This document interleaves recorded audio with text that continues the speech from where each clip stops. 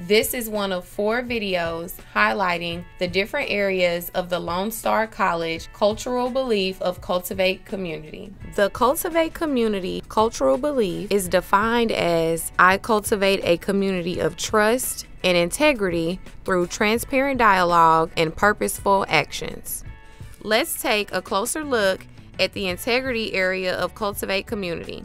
Cultivate community means intentionally fostering an environment where trust is welcomed and integrity is valued by individuals having the courage to engage in honest, transparent, and productive conversations.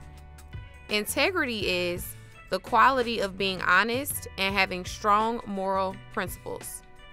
Integrity means doing the right thing whether someone is watching or not. The Lone Star College cultural beliefs can help serve as a guide for doing the right thing at the college. If your decisions align with the beliefs, you are on the right track.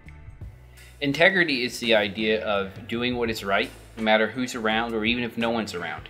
And as far as cultivating community, our communities are based on trust, and the bedrock of trust is our integrity. If I know you have integrity, if I know I can trust you to do the right thing when I'm not around over your shoulder, that goes a long way in cultivating a sense of community that we need here at Lone Star College. Asking for and providing feedback is a great way to cultivate a community of trust.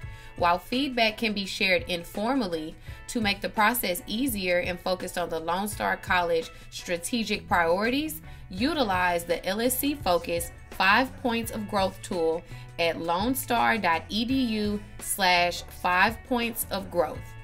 For more information about Cultivate Community and the Lone Star College culture, please visit lonestar.edu slash orgdev.